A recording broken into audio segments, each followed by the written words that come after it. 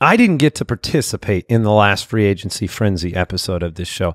And so I am very excited to talk about some of these moves that we haven't talked about yet that you guys did not talk about on the last episode.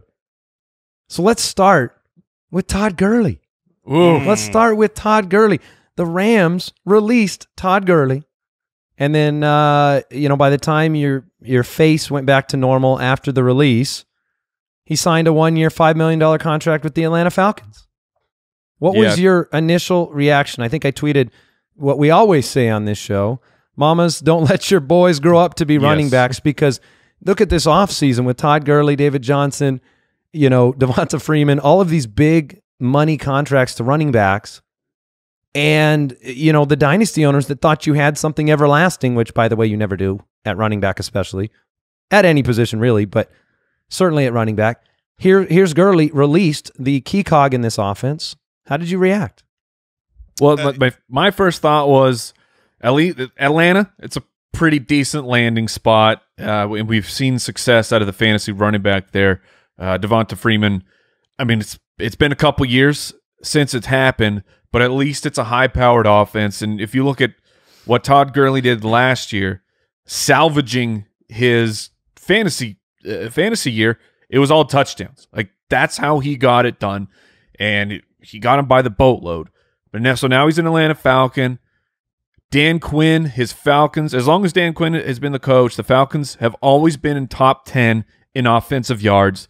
I mean, we know Quinn's a defensive guy, but he's he's surrounding himself self smell. He's surrounding Smelf. himself. He's surrounding himself with some serious, yeah. Uh, he's got smart people around him. Matt Ryan is a very good quarterback. Unfortunately, the last two years, these are numbers that we don't want to hear for Todd Gurley. 29th in rushing attempts last year. Two years ago, 30th in rushing attempts. They had some good years, like I said, back in 16 and 17 when it was Devonta Freeman was great, and then it was the Freeman Tevin Coleman combo. Their offensive line, now, granted, they had a bunch of injuries, so it's it's hard to. They really always do, though, Mike. They're going to have them again. Yeah, They just, it's built into Atlanta somehow. that's that's mean, an it- excellent point. They- but I mean, Break this- it down, though. RB1, RB2. I mean, what do you think, Mike? What do you think, Jay? I would say that Todd Gurley, I would put him.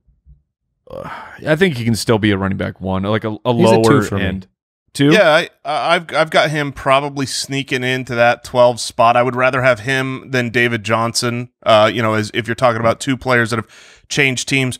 One of the things that really gets lost here on Todd Gurley because the degenerative knee, the the utilization of C.J. Anderson two years ago, and and and the fact that when they came out this last year, it was all managed workload, is the fact that he was healthy and he was he played and then all of a sudden the last seven games of the season when they were like oh man we're not going to make the playoffs we got to make they used him like crazy. He was you know averaging almost 17 touches per game over that stretch. And during that stretch he was the running back nine.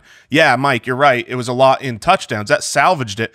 But i think the thing that that really salvaged was the fact that they weren't using him in the passing game at all. At i mean it was ridiculous. Todd gurley this guy who's like one of the best pass catching running backs out there for the previous two seasons all of a sudden is like, yeah, we're not going to do that anymore. And that's why I think Atlanta is good for Todd Gurley, at least on a on a short scale, not necessarily for dynasty long term value. But I think that Matt Ryan will throw the ball a lot to Todd Gurley, and that's going to up his fantasy value. We we've seen Kyle, our editor, the Borgogan, talk about vacated targets going to the running back position, and you've got you know Austin Hooper gone, Devonta Freeman gone. I I think Todd Gurley comes into a lot of receiving work for the yeah, you you can have you can have a situation where it is the smartest move for the Rams to move on. The financial ramifications and what they've committed to, and then all the questions that they have to undergo during the year, and still have Gurley be a productive fantasy asset in Atlanta. And there were a lot of uh, worse destinations that he could have Yes. ended up in without question. Now, Like it- Denver. I guess, yeah, like like, like Denver, and we will we will talk about Melvin Gordon momentarily. Hey, want to have a cup of coffee with me? Click subscribe. We'll hang out. We'll do it together. Make your team the best.